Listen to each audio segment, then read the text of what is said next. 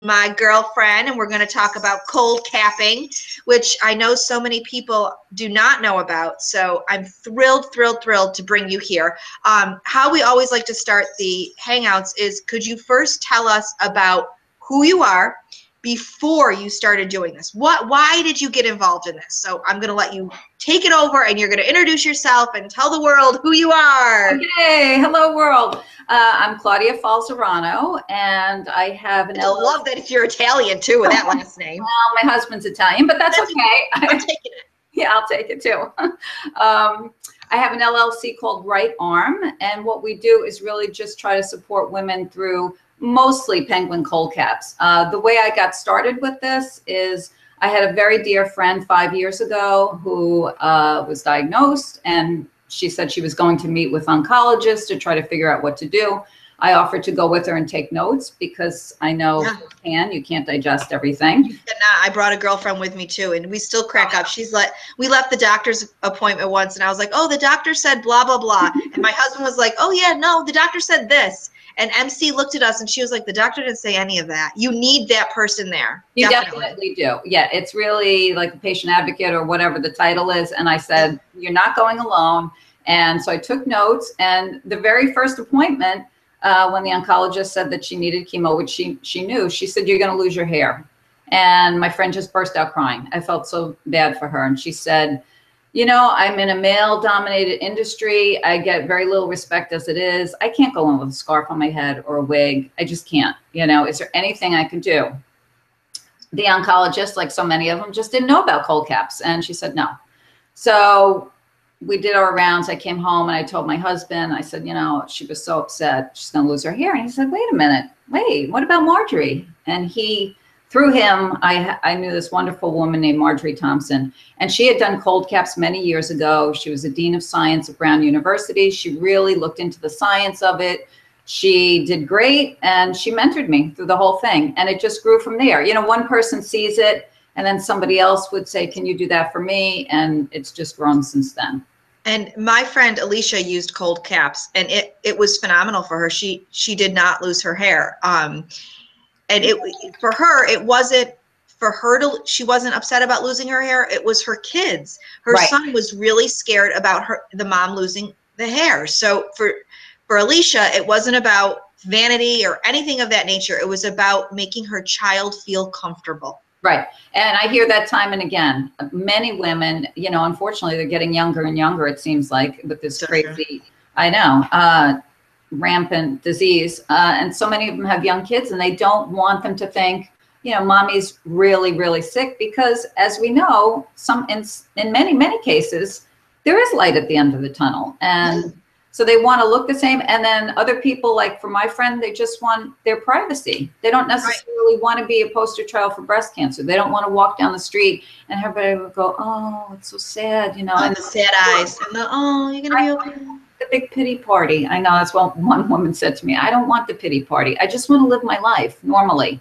And I don't want to look sick, you know, because uh, even the best wig, you know, it comes off at night and then you go, okay, I really am sick. And so it's a great thing. So on Cure Diva, I have all sorts of people that will email me and say, "Oh, you have you have cold caps. I need one sent to me right away." And my first response to them is always and every single time, "Have you started chemotherapy?" And so many times people are like, "Oh yeah, but it's only my second treatment." And so maybe can you tell us just about the the rules to cold capping because there are strict rules involving it. There are. There are many restrictions. And I always tell women that because I want them to be realistic. I don't want them to think they're going to put a cold cap on their hair and they're going to dye their hair and blow it dry and it's going to look beautiful because that's not the case.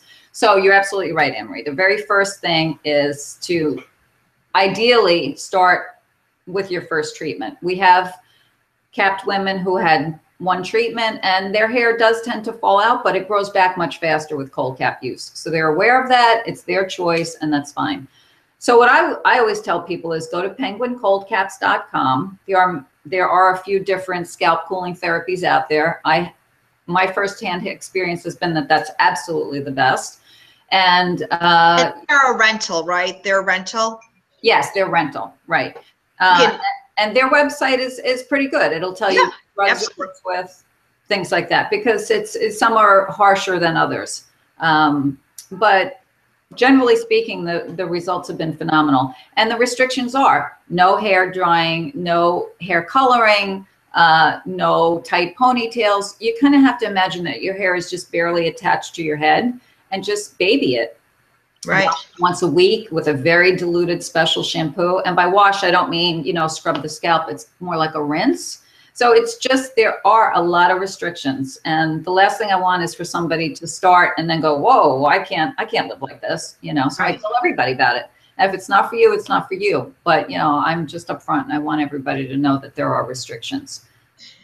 I think it's worth it. Uh, yeah, I, I do. It actually, I have another girlfriend who did not use the cold caps, but she used the mittens and the gloves, and her right. neuropathy is like barely any. And she had crazy chemo like 18 rounds of like intense chemo. And her her neuropathy is really controlled. And the science behind it makes complete sense to me. But yeah.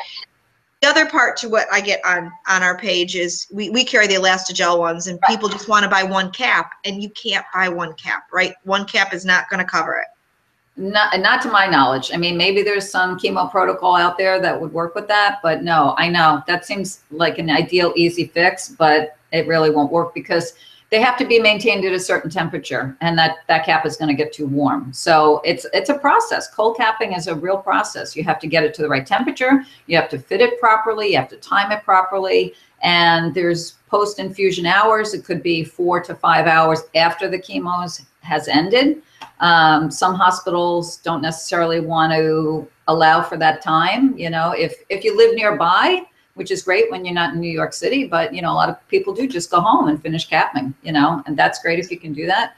I didn't um, realize that. I didn't know you had to keep it on afterwards. Yeah, yeah. Usually four hours is the minimum. So. Uh, you know, it depends. I mean, New York City, with all the people, they kind of want to get you in and out because, you know, yeah. business and they're there to help people and all that. Um, but the facilities that have been supportive have just allowed it. Some move you out to the waiting room, you know, whatever it is, but we get it done. Um, and I, have been, I put up Alicia's blog and your blog about it. And in the pictures, you can see that um, the, the people sitting in the chair are covered with blankets and they have this on and that on. And to tell, tell about that, like why all that? Yeah, there actually is some science behind that as well, which I think is explained on the Penguin website. Yeah. But um, you you do have to. First of all, you're freezing. These are generally speaking minus 32 to minus 34 Celsius, which is super super cold. So uh, we suggest that women dress in layers and always have an electric blanket, and then you keep the body parts warm and the extremities are mm. cold, and that's. And again, we do with certain protocols, we do use the Elastogel boots and right. mitts. So they're a godsend because, yeah, who wants neuropathy? Nobody needs that. So it's it's a you know it's a whole process, but layers are good. Um, you know, of course, nothing if you don't have a port, nothing too tight on the arm so that the IV can get in right. there. And and actually, that's another nice part is these post infusion capping hours are are you're not tied up to the IV anymore once you're all flushed out. So you can move around, you can get up, you can walk around, you can go to another room, and we just roll our cooler down the hallway or wherever they send us and and finish up. And do you find the hospitals are receptive to this or are they a little apprehensive about it? You know, that's a great question. Uh, in New York, because they are supportive, it's it's been great. Um, although not every facility has a freezer, which I wish they would get because they're donated by the Rapunzel Project. Um, so it doesn't cost them anything, but you know that's that's maybe another topic. But I have capped in other states. I, I had many clients in Vermont. I used to go up there, and and other places where they really don't know anything about it, I've found that some of the nurses are a little apprehensive because they're thinking, you know, this is my industry, and if I never heard of it, it can't work. And so, you know, I I know I'm a guest in their house, so to speak. You know, yeah. so say let's just let's just see. My experience has been good. Let's see, maybe I've met a lot of non-believers into believers. So week after week, when they come back with hair, you know, it's it speaks for itself and and the thing that that always gets me and this this goes for cold capping and for taking turmeric or you know whatever right. wacky thing you're doing if it might work why not? You know and you know there's no i don't believe b12 is going to cure cancer and i don't believe that you know taking turmeric is going to really maybe maybe it does i don't know may, i have no idea but it's not a harmful thing because right, right you can't i mean you can't it's not going to give you cancer more than you have it so right well, that is one of the concerns with many oncologists who are unfamiliar with scalp cooling therapy is they are afraid that because you're protecting the head that these cancer could metastasize to the scalp. And there are tons of studies about that because this has been around in Europe for 30 years or more and it's very revered and respected. And they've done these studies and, and even some in the States. And what they found is that breast cancer doesn't generally travel that way. So that's first of all. And the women that do get scalp met, it's the same very low percentage of women using cold caps and not. So they would have gotten it anyway. So it's, Right. you know, to me, it's a non-starter. But Um, I know some oncologists are concerned about that. But I, I think that it goes back to the Western and Eastern medicine thing. I think that this seems to be a little bit alternative, so they can't embrace it as much as they could, which is hilarious to me because we'll pump someone filled with, we'll pump we'll, we'll pump, pump, uh, pump them filled with chemo, but when we just put a cold cap on them, we look at like it's crazy. Right, exactly, exactly. And that's, you know, the few facilities that are holding out for freezers in New York and, and whether they'll do it permanently or maybe they have plans in the future.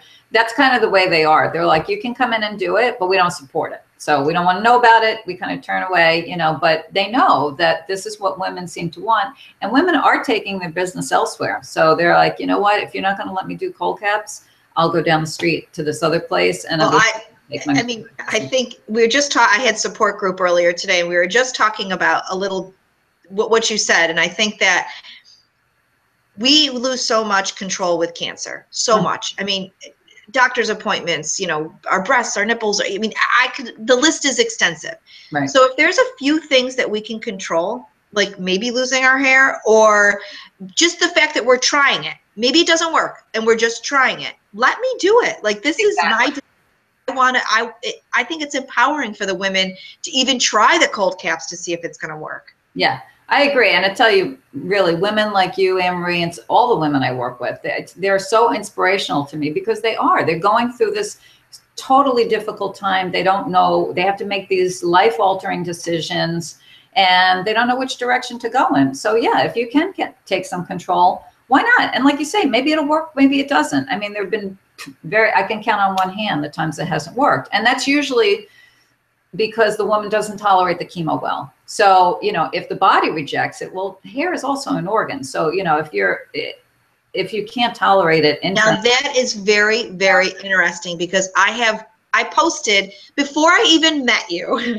I had I, I by met I say emet. I Yeah. had posted something that you were in years like months ago, and um I put it up and I wanted to know who tried cold caps and immediately everybody was like. Um, I have it. I did. It worked for me. And I had this one woman that went nuts. She was like, "They don't work. They're full of it." Da da da. And I ended up becoming friends with her, and we were talking. Chemo was horrible for her. right. She was on the floor every single day uh, with vomiting, like just she it was bad. It was really, really bad. She took radiation like a champ, like it didn't even like affect her, but chemo knocked her out. Now, that's not to say chemo doesn't knock everybody out because I think at some point chemo does knock you out, but I'm talking this lady was sick, sick, sick. right. And I want I now you say that, I wonder if that's That that makes sense. That is why, because well, think about it. I mean, why, you know, if your if your liver and your organs are going to reject this, and you're going to be so sick, a lot of times they have to change the chemo. because, Exactly. You know, you've had this terrible reaction. Well, your hair is the same thing. I mean, you know, people get know. skin rashes. You know, why do you think you're going to have a a skin rash and an extensive skin rash and keep your hair? It's all connected. So it's a very, very low percent percentage of people that I've seen experience that, but that's generally the reason.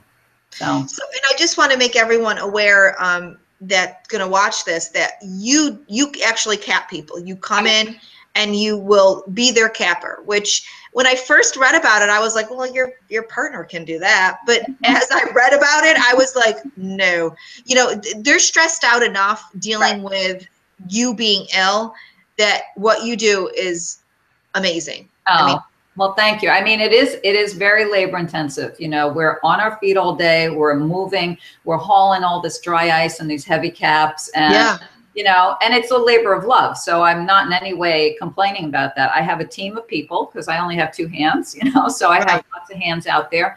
I've trained them. I train them extensively. I don't just show them once and say, go do it. You know, there's so much involved. There's a bedside manner. You know, there is the respect of being in a hospital where we don't work. You know, we have to work with other people. We don't want to get in the way. We want the whole thing. I mean, it's really a unique, to me, a unique individual that can be a capper.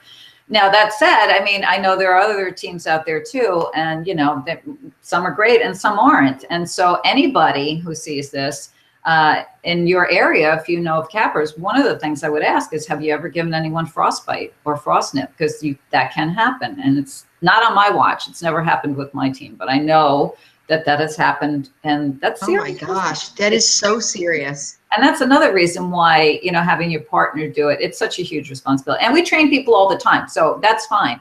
But be trained by a professional. Be trained by somebody. Don't don't you know there's a million youtube videos. Don't just pick one because who knows? Maybe that it's accurate maybe it's not you know? So um, go to somebody and get training if that's the road you want to go down we do it all the time so if someone is watching this and they live in idaho and they want to have it done do you have like you network enough that you can find someone for them?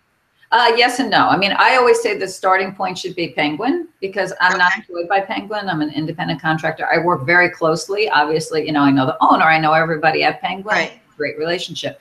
But I would always start there because they have all the information. So they know people who have done it in the area and maybe okay can do it for them. Um, but that said, I'm pretty well connected, so I never mind anybody shooting me an email. And okay, great. And I actually was talking to a friend, and she she actually had a good point, and I forgot I forgot all about this till we just brought this up. But could you consult for a fee somebody in like Idaho? Like, let's say they wanted to hire you, but you couldn't be there. Could you kind of talk them through it? I can and Skype with them. Yes. That's what I mean. Yeah, yeah, Skype with them. Okay, great. I have that on my website. Yeah. And, and it's, uh, because it's just, it's a very tactile process. Yes. So, yeah, you can't, uh, you know, if, if you don't have that cap on tight, it's not going to do any good. And there are ways you have to fit it and mold it to the head because if the cap is one size fits all. So if you have a woman with a big head, that's great. She fills up the cap. It's a little more challenging with someone with a smaller head. There's right. all kinds of things. You want the ears to be protected. Some women's ears stick out. You know, you want to be able to have good contact everywhere on the head. So, well, um, you know, I know Penguin does rent them, and we we have elastogels which they can buy straight out, and we've had people that have bought them and then have donated them back to the hospital, which I oh, think is just nice. is awesome because they're not going to use them again, right. Or they've passed them down to a friend, which and that's okay to do, right? You can you can Absolutely. can yeah, because with with the Elastogel boots and mittens, another thing to remember is never to put it on bare skin. So I always, uh, you know, well, our cold cap patients always have socks on. Um, but you know, even I just take a pair of the nursing gloves and put the gloves on, and you just don't want it on bare skin. It's cold; those get cold too. I know. Well, yeah. thank you for taking this Sunday and chilling with me. And thank you. So great. I can't wait to actually meet you and squeeze you and just. I, I feel like we just met and for a reason. I really believe that. I've I've thrown some people your way, and I feel like you're doing such a great thing for women out there that are losing their hair and freaking out about it. Yeah, well, thank you, and and I know you are just a huge inspiration to everybody because not only are you going through this on your own, you just connect people you know you have a big heart I, I, really believe that connecting people is so important because what might not work for me might work for you and her story might help that person and it the I really do believe that connecting people is something I really do love doing. So yeah. thank you for saying that. Well, I hope everyone has a really great Sunday. Yes, same here.